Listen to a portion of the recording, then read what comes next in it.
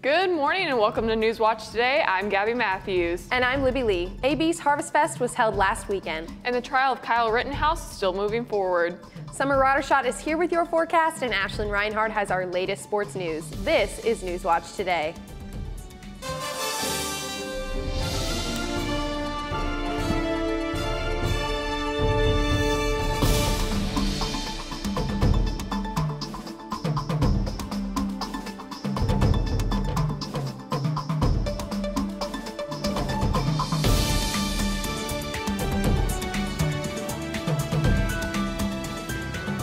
Thanks for joining us this morning, and now we have Summer to give us the first look at the weather. Summer? Thanks, guys. So it is currently only 32 degrees out there, and with the wind chill, it's actually feeling like it's more in the upper 20s. And then later today, you're gonna wanna have a jacket because the high is only gonna be 48 degrees. And although it's sunny, it's gonna be pretty cold. But I'll talk more about what the week before Thanksgiving looks like in my full forecast later. Back to you guys.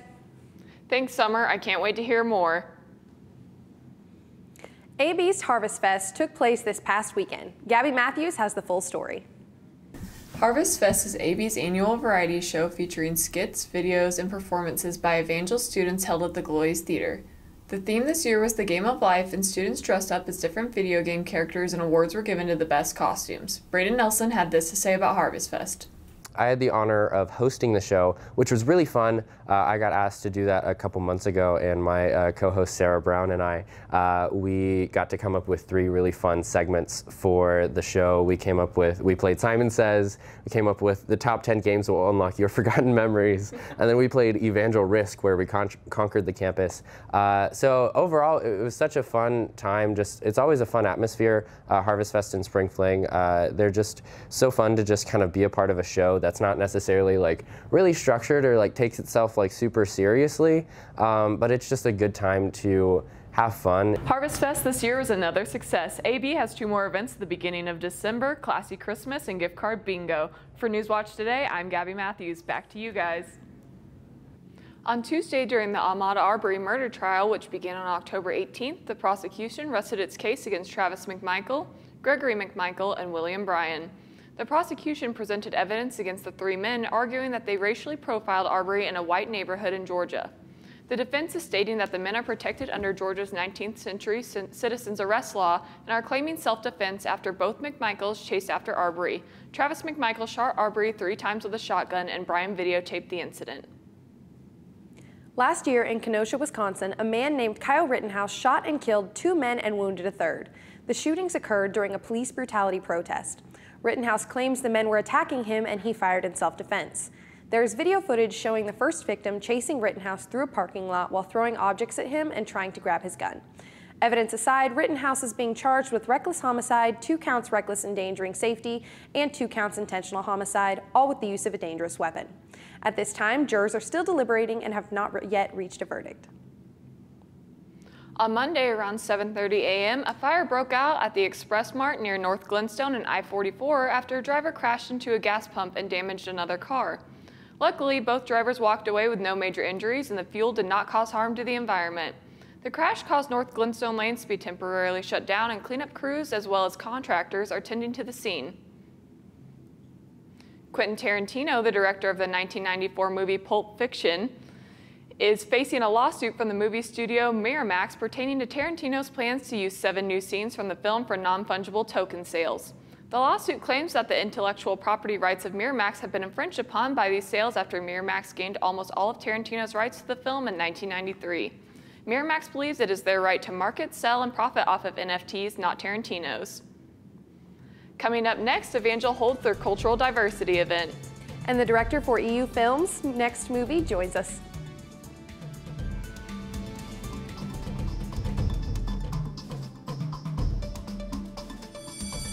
Up your books to page 360. Did you just look at your phone while you was in class? You played yourself. Talking about inspirational quotes. You gotta believe in yourself. Don't ever play yourself. The key is to make it, so make it. Louise, Louise, can you give me an example of an inspirational quote? Don't play yourself. The key is to make it. And who said that? I did. Now that's a major key alert. Learn the real major keys to getting to college at getschool.com. Adventure can be found anywhere, but the best place to start is in the forest. I spy something beginning with S. Snow. No. Snow-covered trees. Nothing to do with snow. Head outside to discover incredible animals and beautiful plants that come together to create an unforgettable adventure. Wow. So grab your loved ones. Don't even. And explore a world of possibilities. Come on, this way. Visit discovertheforest.org to find the closest forest or park to you. Evangel hosted a cultural diversity discussion this Wednesday night. Angelia Hernandez has more on the story. Dreaming of Diversity is a discussion based event on several diversity topics relating to Evangel students and faculty. Socioeconomics, race, gender, culture, and ability are all topics that were discussed. Students came to share their own diversity related experiences and got to create ideas to promote diversity around campus. When asked about the purpose of this event, Cecilia Corbin, coordinator of student ministries and discipleship, said this. At least for Crosswalk and for Kaylee as the Director of Diversity and Inclusion, a huge part of what our heart was was to hear students, to know what they're interested in, and then to go back and say with our time, our energy, our resources, and our efforts, what can we do to facilitate what is already bubbling up within students and stirring in their hearts. Attending a Dreaming of Diversity event is a great way for students and faculty to come together and learn more about cultural and racial changes. This is Angelia Hernandez reporting from Newswatch.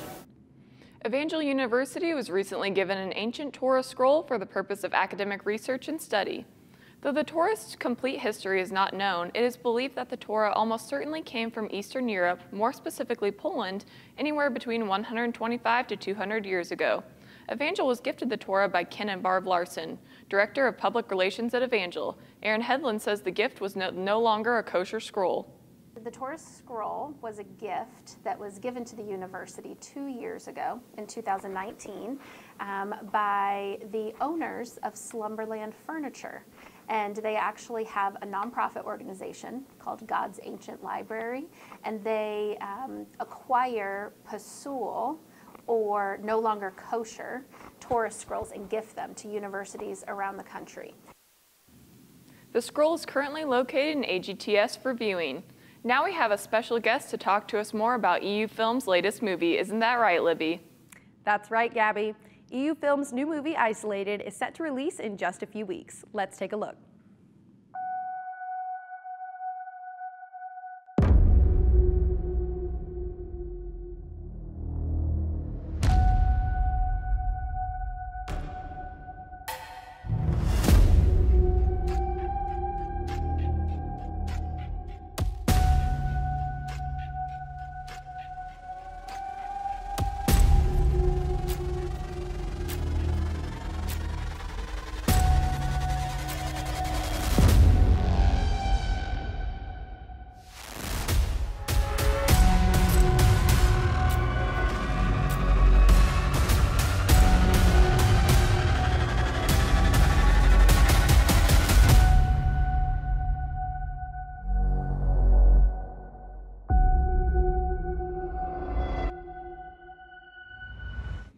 Wow, and joining us today is Brady Rosenthal to tell us all about it. Brady, thank you for being with us today.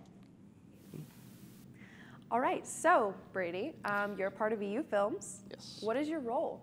Uh, I am the director of the film this semester. Uh, I also came up with the original story idea that we are producing for this semester. Oh, wow. So how did you come up with the idea? Um, it was a meeting in the workshop. We all came together and we all brought our own ideas and we went around in a circle. And uh, it was one of the ideas that I had previously thought up. It was something that came out of quarantine, actually, uh, involving isolation and what it was like to be quarantined for those two weeks. Oh, so, wow. So what is your movie called? uh, our movie is called Isolated this semester. All right. And can you tell us a bit of what it's about? Uh, yeah, I can give you a, a little, little sneak peek. It's about four people who wake up in cells and they don't know who they are, they don't know where they are or how they got there, and they are being watched by cameras that are in the cells, and they try to figure out what's going on and if they can escape. Oh, wow. So how long has filming taken? Uh, filming has taken pretty much every weekend that we've had so far, um, ever since we finished pre-production, Um, it's, it's intense. It's a lot of filming. We're using two cameras at sometimes, and it's just been a lot, but it's been a really, really fun experience to work with this crew. Oh, wow. So, what would you say the most challenging part of filming this movie has been? Uh, definitely so far, just getting our footing was probably the hardest thing, was to just dig our heels in and say, all right, we have a movie to shoot now, and we have to get it done. Um, so yeah, filming and just getting the ball rolling was really difficult at the start. Yeah. So, do you have what do you have to do pre-movie um, auditions? Do you have to get it approved? Yes, yes. Uh, we had to write a script, and then we also did hold auditions, and uh, both of those were processes that were we kind of struggled with a little bit, but they were overall fun, and we, we did find and fill out our cast. We have a full script, which is great because it's kind of necessary. um, and we managed to get both those processes done in a timely manner where we could still shoot the movie. Oh, wow. How long did it take to write the script?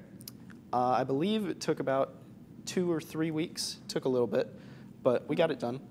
So, is that were you the one that wrote the script since it was your idea, or was it? Uh, no, I handed my idea off to the writers, who are Kaylee Clay and Wyatt Long. Shout out to them. They uh, they took my idea and we gave them a basic plot outline with ideas that we thought might be interesting in the film. And then we said, all right, write it, get back to us, and we will give you our final edits. Oh, so, wow. Yeah. That's interesting. So, how many actors do you have? We have seven actors in total, four main actors. Oh, so. all right. And is this your first time working on a film? No, uh, this is my third EU film. I was previously, previously assistant director on Out of My Mind and assistant editor on Witness from last year. Oh wow! So what would you say your favorite role has been so far?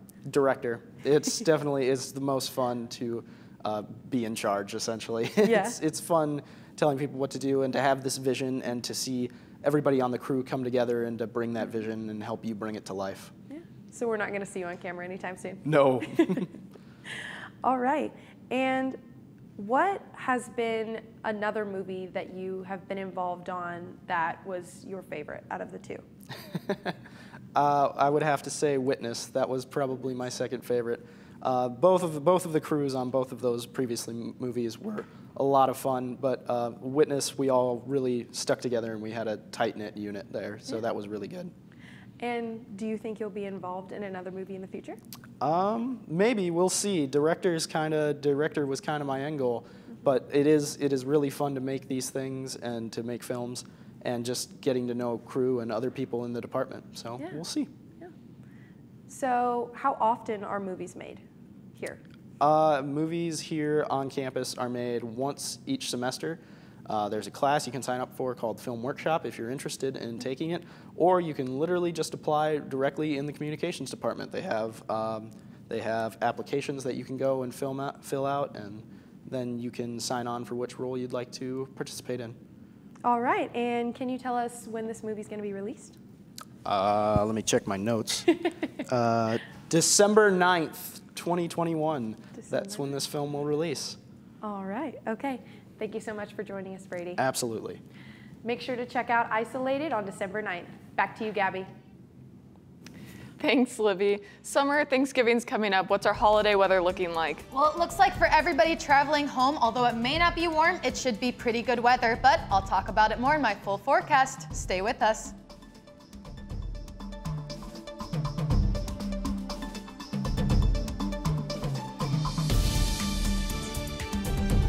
Strike anytime, anywhere, but there's a simple way to stay safe. Hey, Jim Cantore here. I stay safe in dangerous weather by planning ahead. You can stay safe too with a few easy steps. Build an inexpensive kit with supplies for your family's needs. Write down important information like phone numbers and medications. Always talk with your family and remember any pets in your planning. Be ready, be safe.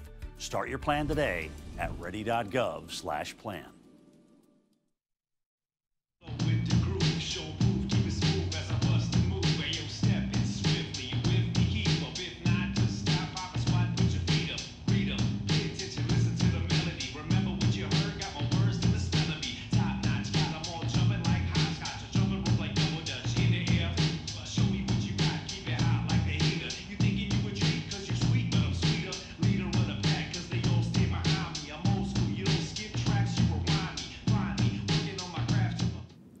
The CDC is currently investigating an outbreak of E. coli after 10 people in the Midwest became sick after consuming baby spinach.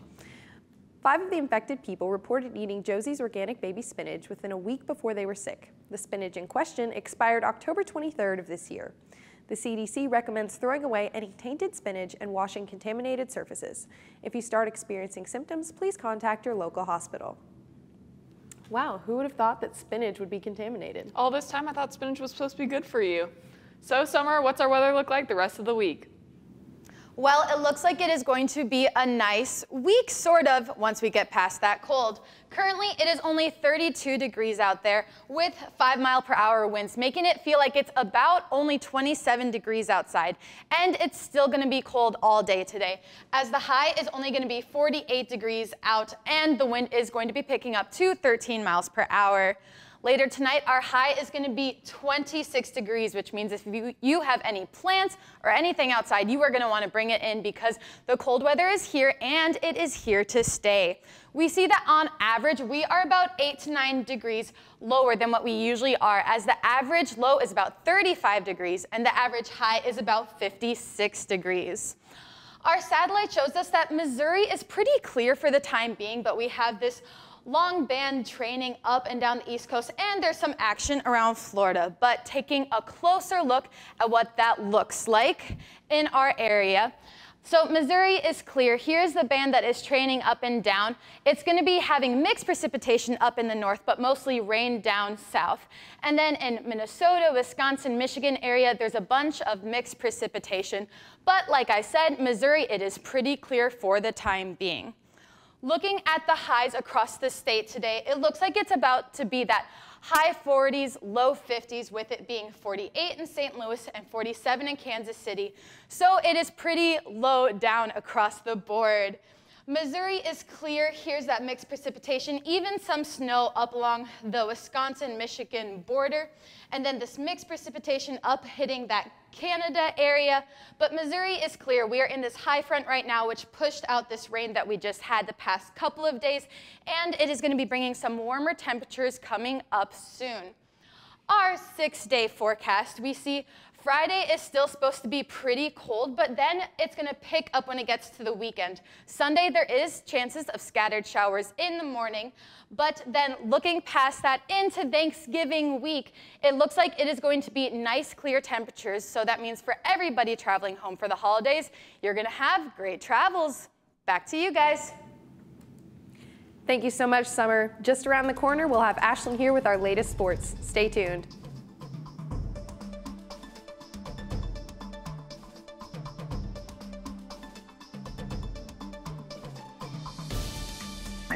Put these on as they were learning to walk.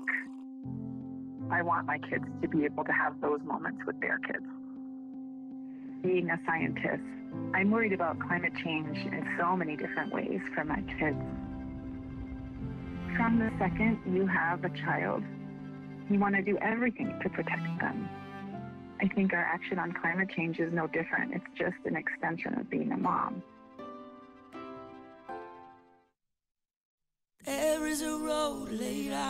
First night here, but Amy seems cool. Leading down to the river. I am blind, but I need not see.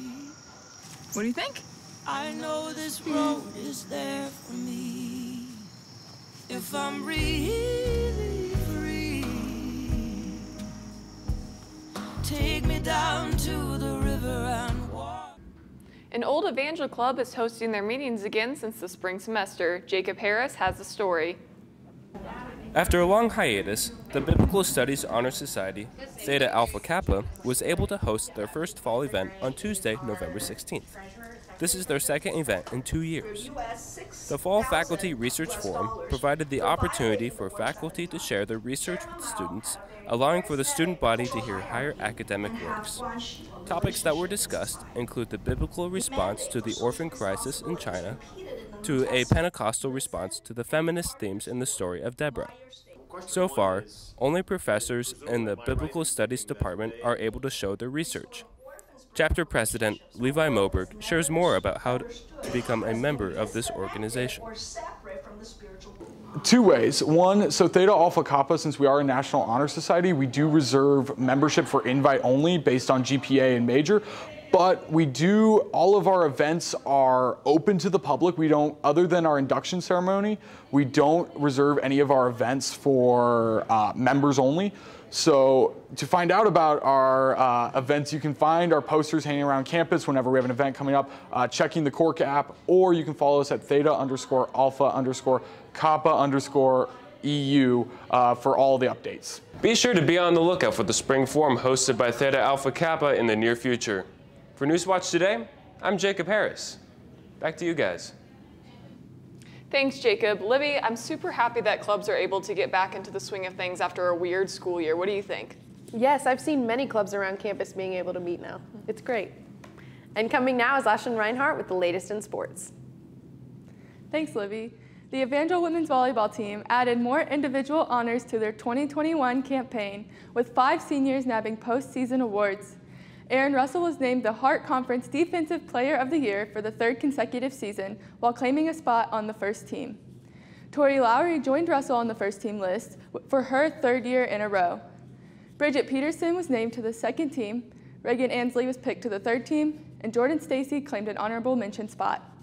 The seniors led the Valor to a 20 and 12 record overall with 12 conference wins, the most under head coach Mary Whitehead and several former members of the Evangel men's basketball program will be inducted into this year's Missouri Sports Hall of Fame. The historic 2001 through 2002 national championship team, including former head coach Steve Jenkins and individually former standout Nick Yoakum, will be honored at the annual luncheon on December 14th. Jenkins led the team to the first program's first national championship 20 years ago with a 35 and 1 record. Jenkins recorded nearly 700 wins in his time at Evangel. Yoakum will be recognized as a member of the Filbert 5 team, which includes Missouri high school and college players that have positively impacted the game. And just down the road, two of Drury's most renowned players got the chance to experience being in front of a full crowd once again, but this time without basketball sneakers or a uniform. 2020 graduates Haley Disselkamp and Deja Bernard saw their former jerseys take their places in the rafters for good on Tuesday night. Disselkamp's number 35 and Bernard's number 5 will never be worn by another, another Lady Panther, as the powerhouse duo led Drury to a historic, nationally ranked postseason run during the 2019-2020 season before COVID-19 cut their undefeated season short. Drury went on to win the game on Tuesday, 65 to 58. Gabby and Libby, I'm glad that small universities right here in Springfield are able to celebrate these accolades. What do you think? Well, I think it's great that both colleges were able to honor their players. Me too. And next up, a World War II veteran receives a birthday surprise. And after that, Summer is here with her final forecast. We'll be right back.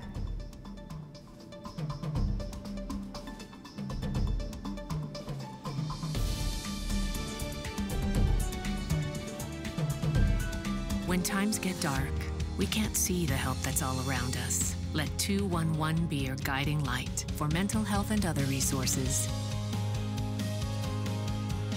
Call 211 or visit 211.org. Behold the angry giant. Behold the angry giant. Behold the angry giant! Behold, the angry giant! It only takes a moment to make a moment. Take time to be a dad today. A World War II veteran received almost 800 birthday cards for her 100th birthday. Claudia Cantu's daughter was trying to gather 100 birthday cards for her mother when a local TV station got involved. The Texas General Land Office saw the TV story and posted about it online. People all over North America sent Claudia cards. She received cards from second grade students, Canadians, and local friends and family. With help from her daughter, Claudia has opened and read every card. Claudia is overwhelmed with the response and thankful for those who took the time to send a card. Wow, I wish I got 800 cards for my birthday. It's amazing that strangers went above and beyond to give her an even more special birthday and more cards than they asked for. So Summer, what's our weather looking like? Well, it is colder today, but it might pick up temperatures a little bit with the coming week. It looks like Friday and Saturday, the temperatures are going back up on the rise. And then Sunday, there's chances of scattered showers earlier that morning, but that should wane off as the day goes by. And then Monday, Tuesday, Wednesday, as people are traveling home for the holidays, it looks like it is going to be nice weather, only one overnight freezing temperature. So everybody should have safe travels home for the holidays. Back to you guys. Thanks, Summer. Libby, what are your weekend plans looking like? Well, I'm excited to go home for Thanksgiving. I bet you're excited to see your family. Luckily, I'm a Springfield native, so I'll be staying here. That's all for today. I'm Gabby Matthews. And I'm Libby Lee. This has been Newswatch Today. Join us next week.